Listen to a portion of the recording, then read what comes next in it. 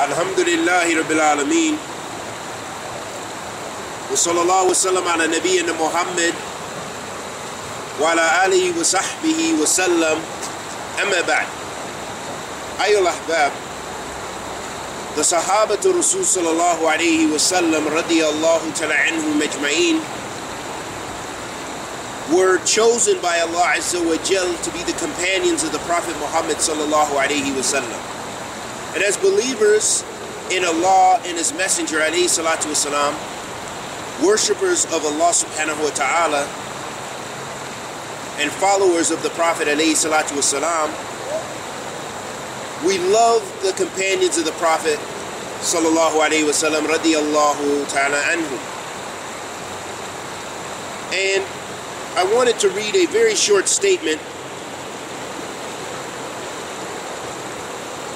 about the Sahaba ajma'in from Sheikh Saad Ashitri, hafidhullah ta'ala, one of the ulama in Mamlakat Arabiyyat Saudiya in, in Saudi Arabia.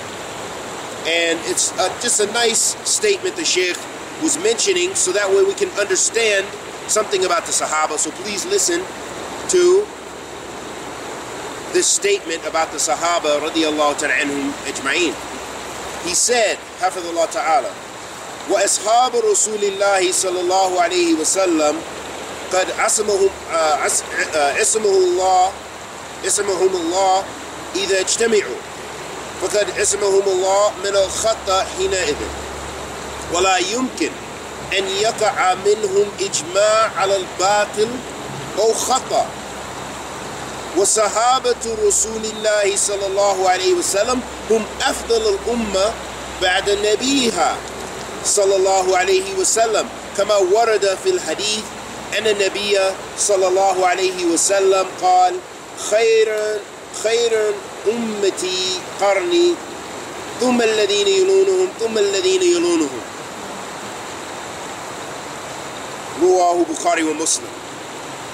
أيها الأحباب The Sheikh said that the companions of the Messenger of Allah sallallahu alayhi wasallam that Allah preserved them. What did Allah do? He preserved them. He preserved who? Prophet. Who are we talking about? Allah preserved the Sahaba radiallahu anhum ajma'in. So listen.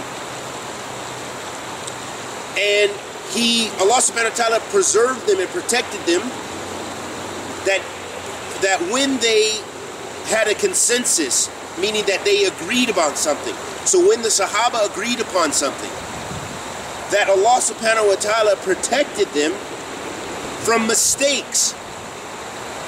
And uh, at this point, Allah protected the Sahaba from mistakes when they were united upon an issue. Anything that the Sahaba was united upon, they it did not unite upon mistakes. And then the Sheikh said, Hafidullah ta'ala, he said, and it is not possible that you could that you could find or that they would agree upon something, have a, con, uh, a consensus on something in falsehood or as a mistake. So whenever the Sahaba radiallahu ajma'in agreed upon something, could they could they agree upon a mistake? No. Radiallahu. Could they agree upon something that was false, batil? No. Jazakallah khairan. And that is because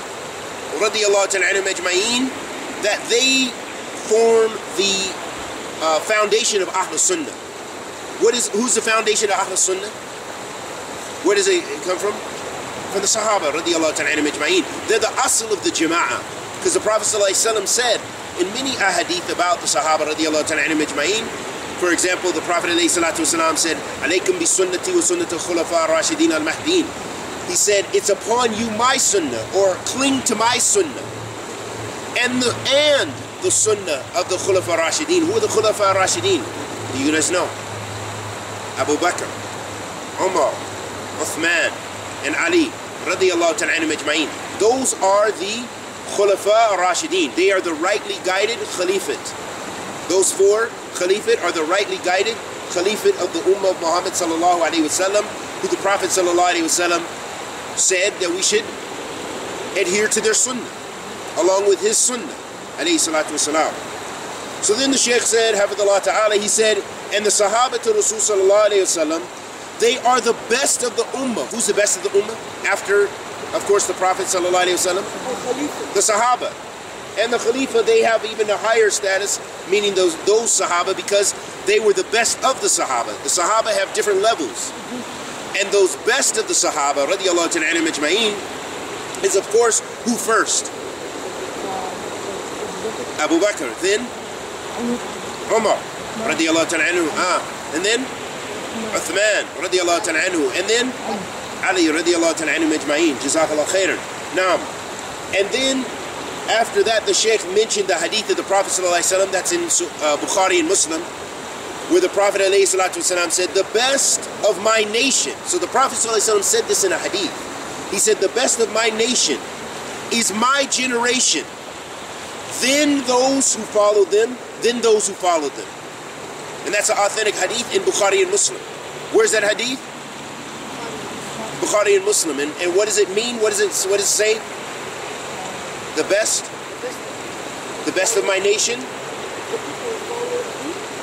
Best of my nation is those people of my generation. Then those who come after them, then those who come after them, or the next generation, the next generation. And that's the Sahaba radiallahu ta'ala anhum ajma'in is the best. Then after them, we have the Tabi'een, Jazakallah khair, and then we have the Itba' Tabi'een. And that's what makes up the Salaf. When someone says Salafi or the Salaf of this Ummah, they're talking about uh, that they adhere, if they say they are Salafi, that means that they are trying to follow the minhaj, the methodology, the understanding in creed, the understanding in aqidah and dawah and fiqh of the Sahaba and the first three generations. And if they and if they refer to the Salaf, if you read a book and it says the Salaf, like you're going to read Lamia, in that when it talks about the Salaf, it's talking about the Sahaba, the Tabi'een, with Ba'a Tabi'een. Jazakallah khairan, Allah yubarak feek. And we ask Allah the Almighty to accept our good and forgive our evil and bless us with ilm nafi, rizqan tayyib, wa amalan mutaqabbilan. Wa sallallahu wa sallam ala nabiyyina Muhammad.